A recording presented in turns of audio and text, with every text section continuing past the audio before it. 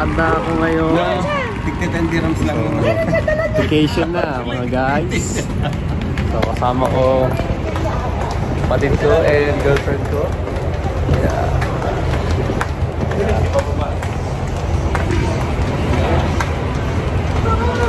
Departure na.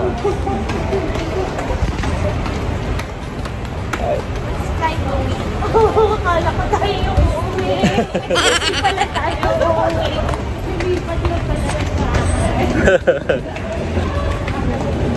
Sige na guys, mamaya na lang.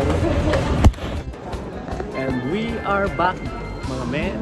So, pag uh, check-in na ako. So, here we go Philippines. See you around. So, mamaya na lang ulit. Kakain muna kami. Gutom na ako. Bye! What's up mga men? So, tahimik lang ako dito kasi tahimik yung mga kabayan din namin pa uwi. Ayan, dami. So, D20 yung gate namin.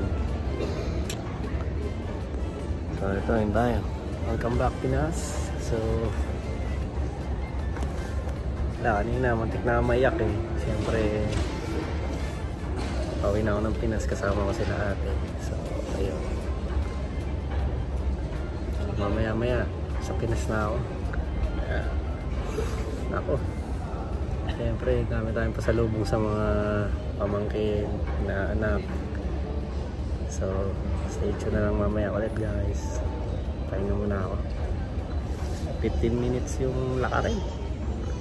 Kagandahan doon, merong ano, may tram na tahimik na yung boses ko kasi nakakaya eh. Naya ako mag-vlog. Bahala sila. So, stay tuned mamaya guys. Pahinga muna ako. Antok na eh. Bye.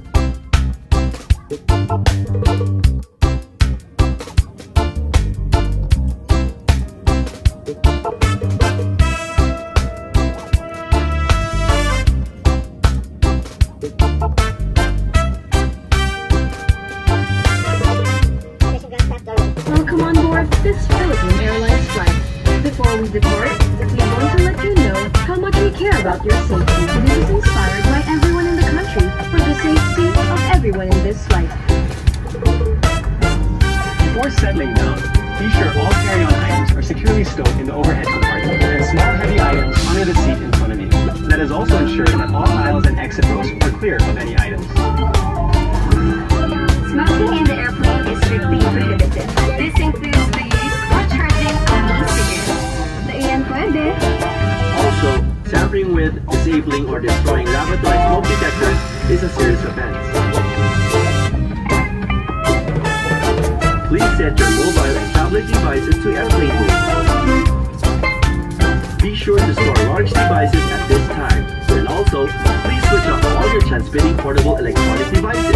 If your gadget slips between the seats, do not adjust the seat. Please call a cabin crew member for assistance.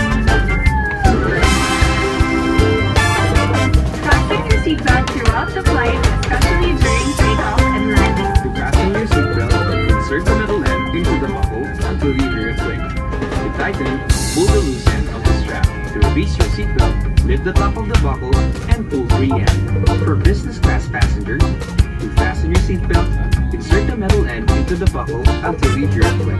Then, pull the sash belt and hook it to the buckle. Press the button to unfasten. Also, please fasten your seatbelt. Bye.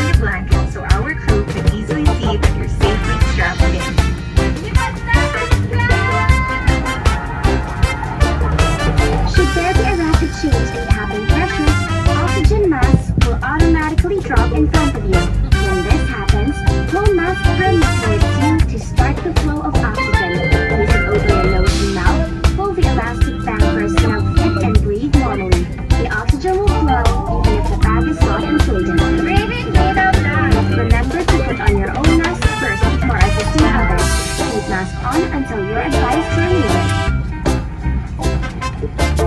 Emergency